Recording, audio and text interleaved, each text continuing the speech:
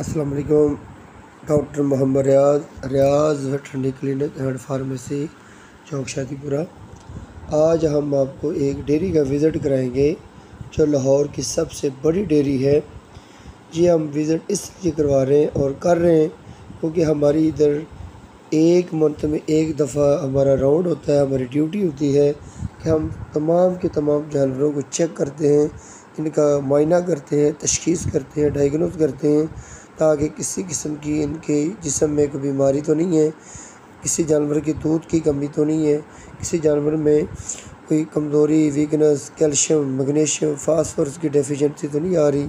अगर इनको मतवाजन खुराक नहीं दी जा रही तो इनकी मतवाजन खुराक को भी दुरुस्त किया जाता है। इनको वंडा वगैरह जो डाला जाता है, वो वंडा वगैरह भी मैं आपको बता देता हूँ। वो डालते हैं ममनी, खाल, चौकर और दलिया। और इसके साथ यानी कि डीसीबी जापानी,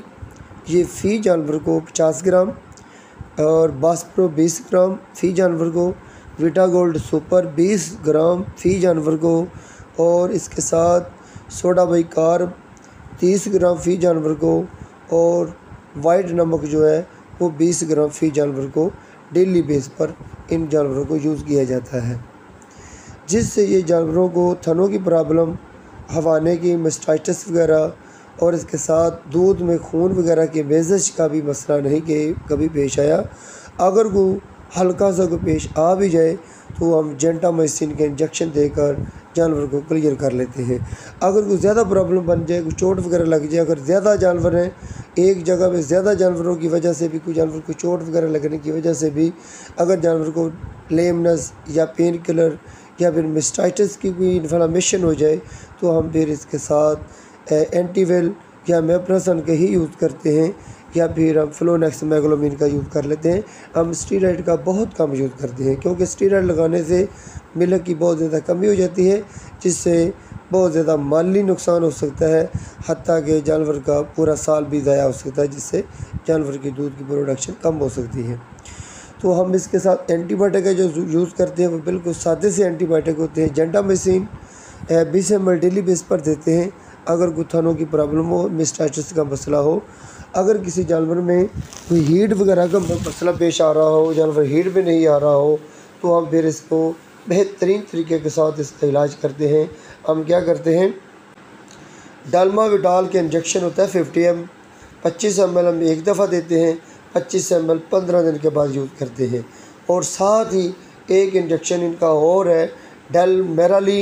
ये हम डोज देते हैं और साथ ही डलमाजीन के डोज दे देते हैं। और इसके बाद जब जानवर हीट में आ जाता है तो फिर डेल मेरालिन के डोज लगाकर दो घंटे के बाद इनको सेमिनेट किया जाता है। अगर सेमिनेट नहीं करना हो तो फिर कुदरती मलाई के ज़रिए भी अक्सर जानवरों को इनके बार आवर किया जा सकता है। प्रेगनेंसी का अमल बेहतर तरीके को बनाने के लिए हम साथ मतवाजन खुराक का जो इस्तेमाल करते हैं, वो बहुत ज़रूरी होता है। मतवाजन खुराक में ये होता है, जब जानवर प्रेगनेंट हो जाते हैं, इनमें मक्की वगैरह और गंदम का दलिया वगैरह की मकदार को कम किया जाता है और साथ हम चने के छिलके वगैरह का यूज़ और साथ खल बिनोला का यूज़ करते हैं। साथ वह मिनरल की जो कमी को पूरा करने के लिए D C P Vita Gold Super और बास्प्रो वगैरह ईस्ट टॉक्सन बेंटर का यूज़ करते हैं साथ,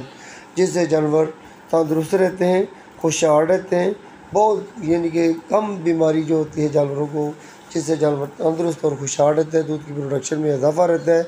और इसके साथ साथ जानवरों में सबसे मेन जो पॉइंट वाली बात होती है, अक्सर लिवर फ्लो का भी मसला नहीं बनता। क्योंकि हम बर वक्त इसकी डवर्मी करते रहते हैं। डवर्मी हम करते हैं साल में चार दफ़ा पंच की डवर्मी करते हैं फ़ी जानवर को सौ एम की डोज देते हैं, हर साल के चार, यानी कि तीन तीन माह के बाद, और साथ ही इंजेक्शन लगाते हैं, हर तीन के बाद नोटॉक्सल दस एम हम जेर जल्द के इंजेक्शन देते हैं, जिससे जानवरों को यानी कि एक्टोपैरासाइट और एंडोपैरासाइट का मुकम्मल तौर पर ख़त्म हो जाता है, जिससे जानवर का मैदा वगैरह जो होता है, वो मुकम्मल तौर पर गदा को हज़म करता है और जज्व बदन जिसम बनाता है, जिससे जानवर में दूध की प्रोडक्शन में बहुत ज़्यादा इजाफा हो जाता है। दूध ज़्यादा देते हैं और गोशत की पैदावार सलाहियत भी बढ़ जाती है, जिससे अक्सर जानवरों में हमने देखा है कि जानवर की दूध और गोशत की पैदावार सलाहियत बढ़ जाए तो अक्सर जानवर देखने में खुशहाल और तंदरुस्त और इनके नशोनुमा और इसके साथ साथ इनके जो बच्चे होते हैं, इनके जो बफलो काफ, ये भी तंदुरुस्त होते हैं जो कि दो ढाई साल के अंदर अंदर ही अक्सर जानवर जो होते हैं, प्रेगनेंसी के काबल हो जाते हैं, कुदरती मलाई के काबल हो जाते हैं, जानवर खुद बहुत हीट में आ जाते हैं। क्योंकि अगर बच्चों को बेहतरीन तरीके के साथ इनको स्टार्ट किया जाए, खुराक का और इसके साथ पेट की कीड़ों की दवाई पिलाई जाए, और साथ कैल्शियम और मिनरल पाउडर का मुकम्मल तौर पर ख्याल रखा जाए पंडा वगैरह डाला जाए तो अक्सर जो बच्चे होते हैं वो ढाई साल के अंदर अंदर बफलों के बच्चे जो होते हैं वो तैयार हो जाते हैं